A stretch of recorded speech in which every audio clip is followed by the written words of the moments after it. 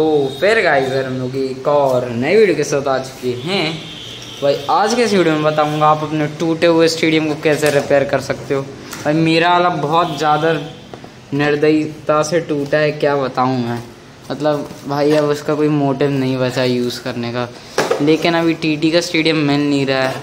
लग रहा है कहाँ से टूटा है। भाई बीच बीच से तो क्रैक्स थी ही पहले से, लेकिन अब देखो यार, असली बुरी बात ये है, ये देखो। ये पूरा पूरा प्लास्टिक इसका छटक गया है। पूरी तरीके से फट चुका है भाई। अब मैं कोई नकली स्टेडियम नहीं लेने वाला, अब टीटी का ही लूँगा। और ऐसा बहुत सारी साइड्स में नहीं हुआ है। खुशी की बात है। यहाँ यहाँ पे भी नहीं है। यहाँ पे एक स्टार्ट था तो फिर मैंने ऐसा अच्छे से मतलब कर दिया सील तो फिर हाँ। अब वही तरीका बताने वाला हूँ कि ऐसे टूटे हुए स्टेडियम को कैसे रिपेयर करना है। तो फिर बने रहो वीडियो के एंड तक जानने के लिए। तो फिर देखो, इतनी सारी प्रोटेक्शन दी थी मैंने। मैंने अपने यही मोहल्ले के दोस्त से पूछा था कैसे प्रोटेक्ट कर लूँ, उसने इतना कुछ बताया। तो फिर भाई, इसे सबसे पहले अलग करते हैं।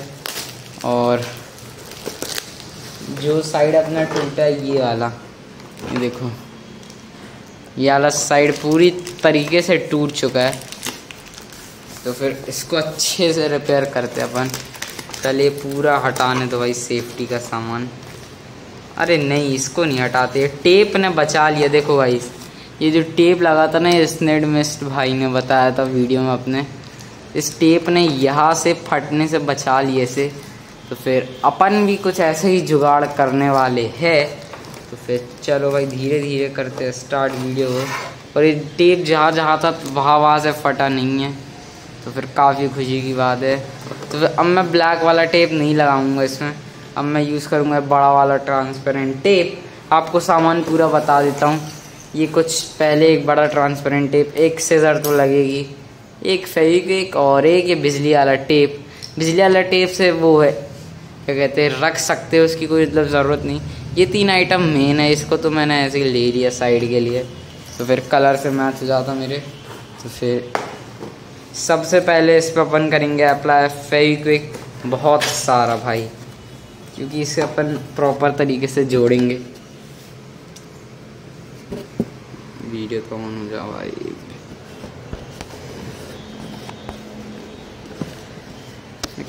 अरे यार।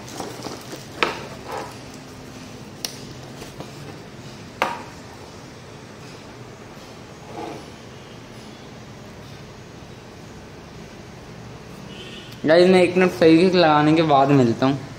और तो और हाँ गाइज़ मैं एक चीज़ बताना भूल गया फेविक्विक लगाने के बाद आपको पेपर भी लगाना है तो फिर पेपर तो मैं बताना भूल गया, एक पेपर की ऐसी स्ट्रिप लेके यहाँ पे ऐसे लगा देना है तो फिर मैं लगाने के बाद मिलता हूँ।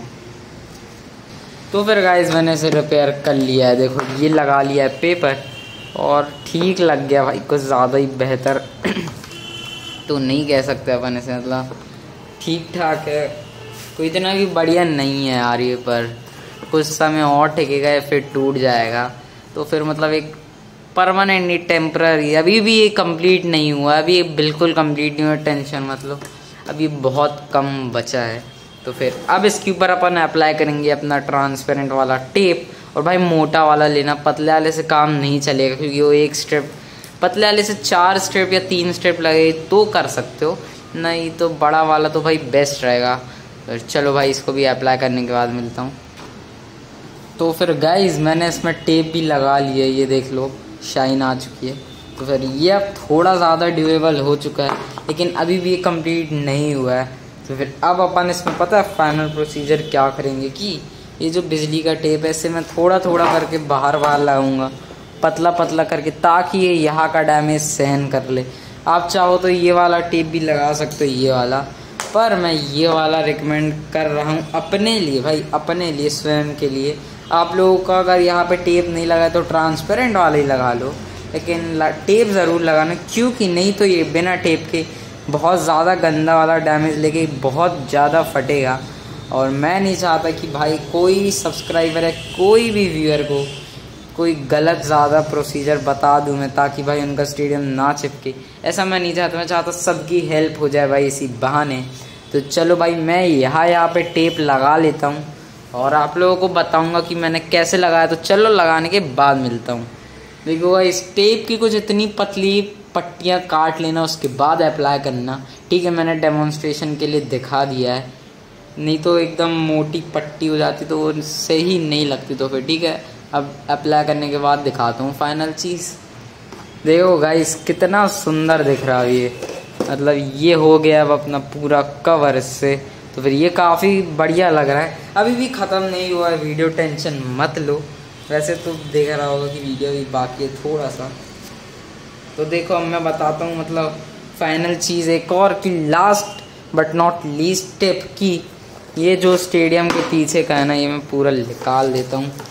क्योंकि भाई अब मैं करूँगा सबसे बढ़िया चीज़ जो कि है पूरे स्टेडियम में सेम प्रोसीजर रिपीट करना। सिवाय ये ब्लैक लाइन देखो ये जो ब्लैक लाइन लगाई ना कहा भी भाई? हम्म, ये रही।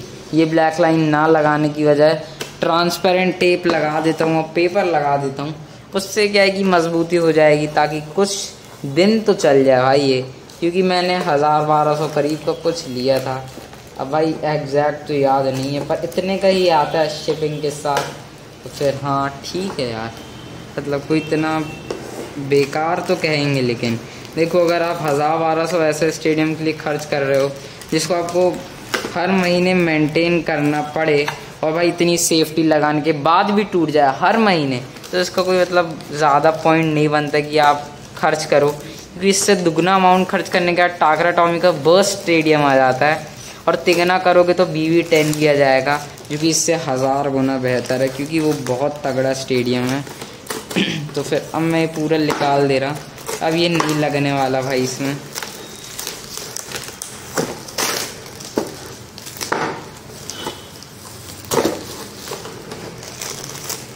भाई बहुत डर लगता है स्टेडियम के साथ, कहीं ये टूट ना जाए। जल्दी करता हूँ भाई टाइम वेस्ट नहीं करूँगा किसी का। फिर हाँ देखो एक तरफ़ हो चुका है ये तो पेपर दोबारा लगा देता हूँ ताकि फट ना जाए बीच ही से ये, क्योंकि ऐसा बहुत हो जाता है। और इसको भी कर देता हूँ सेट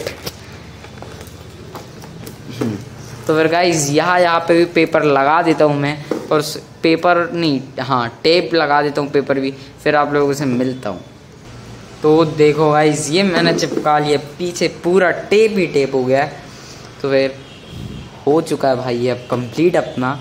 और पेपर नहीं लगाया क्योंकि भाई पेपर से वो बहुत ज़्यादा गंदा दिखता तो फिर यही था अपना पूरा वीडियो अब ये तो फिर गाइज़ यही थी हमारी वीडियो उम्मीद कर दो पसंद आई होगी। पसंद आई हो तो लाइक करना चैनल सब्सक्राइब करना। जल्दी मिलते हैं नेक्स्ट वीडियो में। Thank you so much for watching bye